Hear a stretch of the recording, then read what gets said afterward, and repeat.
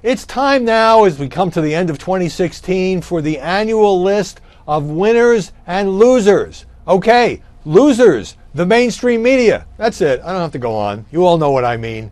I mean, it's been a horrible year for the press, largely because of Donald Trump and the election. I've never seen such a bad performance by the mainstream press. Uh, the hostility to the eventual winner, the predictions that he wasn't going to win, the failure to understand his appeal with millions of working class Americans. I mean, it was just an awful performance. And after Trump won the nomination, I thought, well, now the press will kind of get it. Out. It never happened.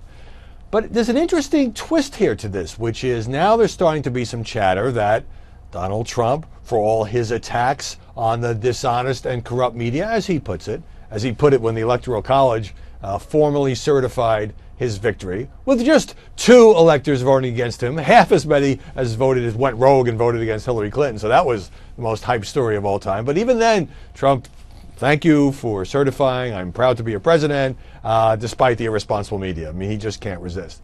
So the theory that Trump and the Trump era is actually good for the MSM uh, is that um, now lots of people have to support us, the people who don't like Trump. And so uh, Jim Rutenberg, columnist for the New York Times, wrote about this the other day, saying that uh, New York Times subscriptions just soared 40,000 plus in just a week or 10 days after the election. Same for uh, some other big newspapers and magazines. Vanity Fair subscriptions are up, uh, I am told, after Donald Trump uh, ran, uh, put up this negative tweet saying Vanity Fair failing.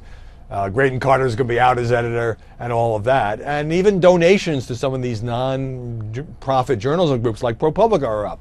But here's the danger in that. Uh, you know, so I get that Trump in a way because he there is so much interest in him and his administration, and he's just sort of turbocharged the news. I mean, cable news ratings in the last year soared for all the cable news networks, including Fox, which is number one uh, by a lot. Uh, but I, I get that there's a fringe benefit because the country's engaged as well as very polarized. But to the extent to which more people are looking to the mainstream media as a counter against Trump, and you have Slate running this ad pops up at the bottom of the screen. You know, Donald Trump's declared war on the press. Help us fight him. In other words, send money, as much of it as you can. Um, then I think there may be a temptation to cater to these newfound fans and readers and viewers and people who click on your websites uh, by being even more negative toward Donald Trump. Not that the MSM need a lot of encouragement in that regard. And I continue to say the same thing that I have said with every president of every party. The press needs to be aggressive against every administration, report fairly and accurately and aggressively, do investigative reporting, hold them accountable. But the same standard needs to apply. You recall when Barack Obama won, the mainstream media were kind of in a celebratory mood, and I don't recall seeing all these stories about what all about all the people who didn't support Obama and um, how angry or upset or disappointed they are. Uh, except to sort of lambaste the Tea Party. And therefore, we have to be careful uh, not to get swept away by the hope and change thing and report aggressively on Barack Obama. And I, don't, I, don't, I miss those columns.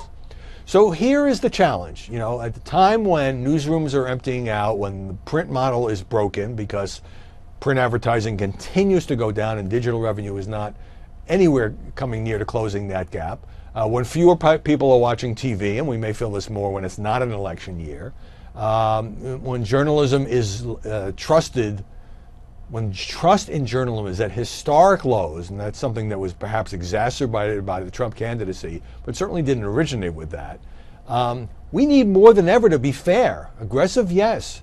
Uh, accountability journalism, yes. We need to be fair. And to the extent that we can get back on that road, especially with a new president coming into office uh, whose victory was predicted by virtually no one in this business, um, then maybe we can begin the slow process of winning back trust. If not, it's going to continue to go down. And the truth is, folks, credibility, trust is the only thing we really have. You know, there's a million places you can get your news. You can get it on Facebook and Twitter and, you know, Snapchat, Instagram, or you can just tune it out. So I hope 2017 turns out to be a rebuilding year for the media, as we have a long way to go. Happy New Year. Happy holidays. See you next year.